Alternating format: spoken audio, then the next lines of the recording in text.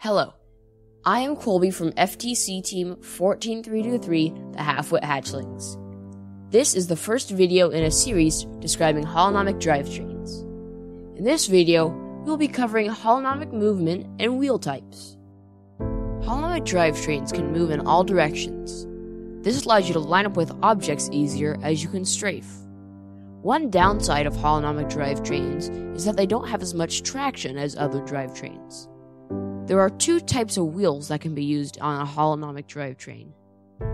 The first variant of wheels are omni wheels. These wheels have rollers which allow the wheels to move sideways and slide.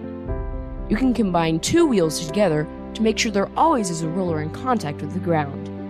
Omni wheels are used in many configurations, including differential drivetrains.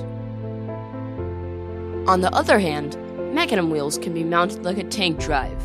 This is because mecanum wheels consist of multiple rollers at 45 degree angles. The programming of mecanum wheels are similar to the X pattern omni wheel configuration. If you thought this video was helpful, please leave a like and subscribe. And if you would like to get notified of future videos, hit the bell down below. In the next video, we'll be covering wheel configurations, and in future videos, we'll be covering inputs, wheel calculations, and programming for FTC. Thank you for watching.